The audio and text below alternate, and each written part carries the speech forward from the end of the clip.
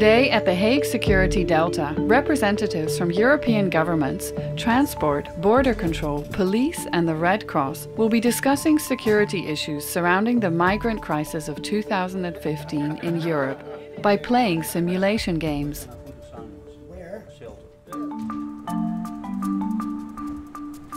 The program today is centered on games and exercises that encourage knowledge sharing the games have been designed by Dutch research organization TNO.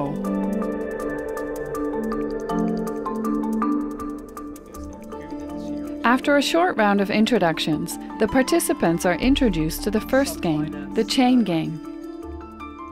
The object of the game is to facilitate the production of a popular children's toy, the Mutana banana. The chain game is an introductory game designed to encourage people to interact while remaining attuned to thinking strategically. Players are keenly observed during the game and observations are recorded. Multiple themes are explored in the game cooperation, transparency, and motivation. We ask participants to reflect on these themes and their own values. First of all, all partners succeeded in, uh, in meeting their mission or their goal in raising their stock value of their own company. So it was successful. It could have been more successful even if uh, we would have partnered more uh, together than, than we actually did. Well, I, I was confirmed of something, which is that it seems like um, a lot of people tend to forget the humanity of the people that we're actually trying to work for and are treating refugees and considering them to be products in a intrinsically capitalist system. I think it always transfers well to, to show you that uh, cooperation in many cases is more successful than isolated decisions and that if you're transparent and if you if you find uh, a common goal then uh, you will be more efficient, effective, uh, and successful that way. Today's knowledge sharing workshop is organized by the European Commission consortium SOURCE. Peter Burgess, the scientific coordinator of SOURCE, gives a brief history of how society deals with security in Europe. Cold War security, for those of you old enough to uh, remember, and now I'm showing my age, was far more than today a story of a, a bipolar relationship. Us and them, the Western allies and the Soviet Union. It was really very difficult throughout the Cold War period to use the word security without the reference going immediately to some sort of bipolar logic. Peter explains that this bipolar thinking began to change at the end of the Cold War, at the time of the fall of the Berlin Wall in 1989. The concept of security was somehow liberated. Suddenly, on a horizontal level, you could uh, multiply different kinds of security financial security, health security, religious security, cyber security, etc. I could go on and on. While security took on different forms, new types of threats to society became much more apparent. All these threats cyber, terrorism, pandemic, food, financial they don't respect the bipolar logic. They don't respect national borders, international borders. They don't respect this logic of us and them. All those threats that I just mentioned, they're already here. This is why different stakeholders of societal security in Europe are here today to share knowledge by simulating the migration crisis of 2015 in a game. They are going to play a game loosely based on the board game Risk. The setting is similar to that of the migrant situation in Austria in 2015 when 10,000 migrants arrived in the capital, Vienna, by train. Other than the starting scenario and a few basic parameters, the game does not have many rules. So there are not many rules in it. The knowledge and the rules do come from you.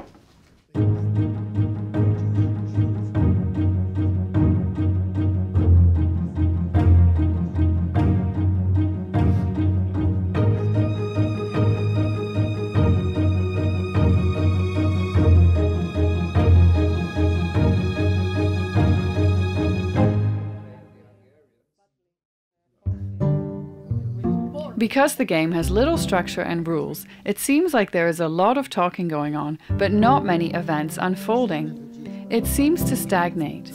There is a lot of discussion and communication between players, discussions that often lead in the same direction. The more rounds that are played, the more realistic the game seems to a real life crisis. The observers are surprised at the results. It was very informative, it was very interesting. I think it worked uh, to the satisfaction of, of everybody. And there were a few surprises. Uh, one surprise was how much um, emotion played in. We who thought that it was uh, really a matter of calculation and rational decision making found out that it actually has a lot to do with how people feel and how pe what people value and what they get excited about and what they get angry about. And uh, that came out also across the national cultures. The Austrians react to things in one way and the French react to things another way. And these things are all, always, or often at least, uh, based on um, values and the way, the passions we have about our values.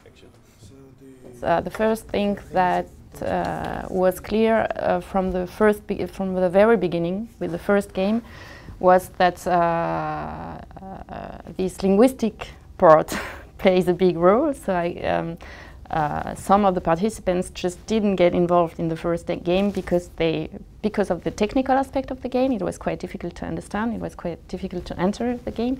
But because also of the uh, linguistic issue they just were not fluent enough in English to feel comfortable to, to take part in the discussion. So we had like two or maybe three actors completely dominating the, the table and uh, basically saying others what they should do uh, within their group, but also with the other groups. One of the goals of the game is that participants gain knowledge about the factors of decision making that other parties have, and therefore understand that communicating such factors more openly in the future can be beneficial.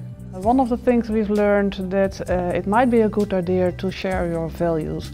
And it was said, well, the Red Cross, I'm working for the Red Cross, uh, it's uh, one of the organizations that is very explicit about uh, their values.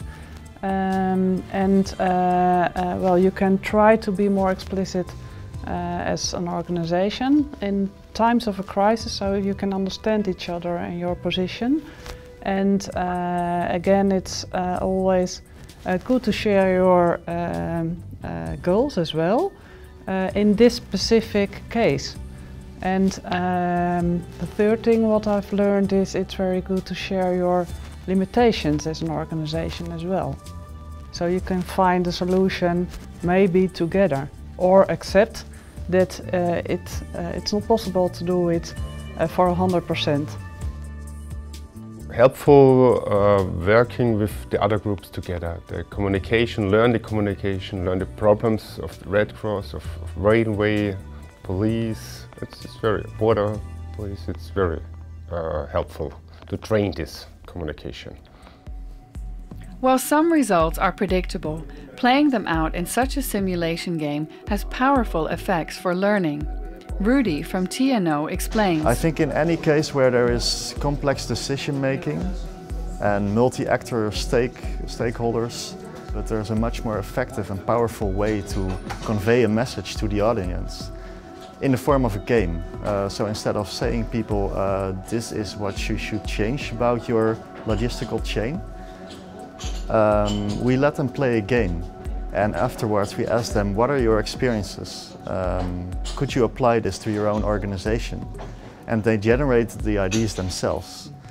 And I think this is the most powerful way of uh, convincing someone, uh, them telling you what they want to change.